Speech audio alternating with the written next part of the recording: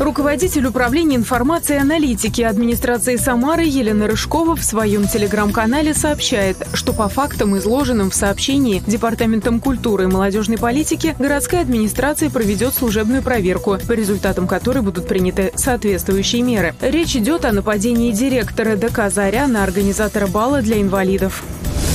Администрация Кировского района напоминает, в Самаре стартовал конкурс на премию главы городского округа «Мир равных возможностей». К участию приглашают лица с ограниченными возможностями здоровья, достигшие 18-летнего возраста, проживающие в Самаре. Премии вручают в шести номинациях. Также в торжественной обстановке победители получают диплом. Заявки принимают до 20 сентября по адресу город Самара, улица Некрасовская, дом 63, третий этаж, кабинет 19. Телефон для справок указан на экране.